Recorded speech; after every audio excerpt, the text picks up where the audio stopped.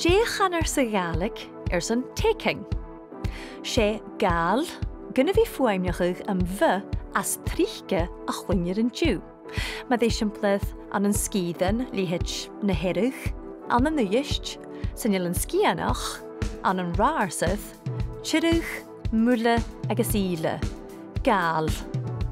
An yn lioes, chwynir gwyl, ag agos goel. i ffwaimnioch ych am fy pŵl agus gôl.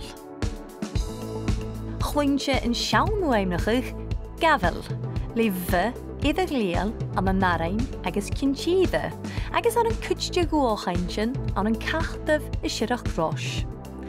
Chwyntio cwtioch gafel wyddan yn yn diw an yn sgalch fain y herwch, agus chynnal yn sin ach bolosad jyn fiarch dys gwochainsyn a yw'r sygalig.